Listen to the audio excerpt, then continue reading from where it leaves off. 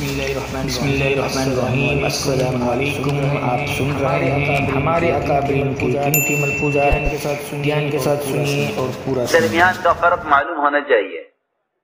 میری بات بہت دھیان سے سننی پڑے گی سب کو۔ کہ مہاجرین اولین جنہوں نے ایمان لانے میں سبقت کی ہے ہجرت میں سبقت کی ہے کہ یہ پرانے نئے لوگوں کی تربیت کا نئے لوگوں کی تعلیم کا نئے لوگوں کی استقامت کا ذریعہ بنے ہیں۔ پرانا اس کو کہتے ہیں، جو نئے لوگوں کی تعلیم کا، نئے لوگوں کی ہدایت کا، نئے لوگوں کی تربیت کا ذریعہ بنتا ہو، وہ پرانا ہے۔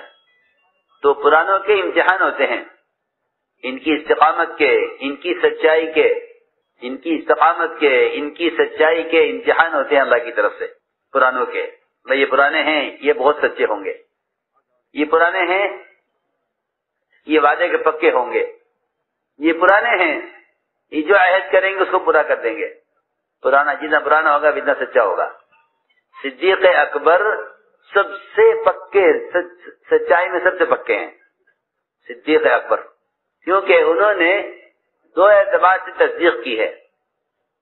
ایک آپ کی نبوت کی تصدیق اور ایک آپ کی خبروں کی تصدیق۔ اور آگے جو دین کے تقاضے آئے، ان تقاضوں کو پورا کرنے میں تصدیق۔ یہ نہیں جہاں موقع سچ کا، وہاں سچ۔ جہاں موقع جھوٹ کا وہاں جھوٹ، یہ نہیں۔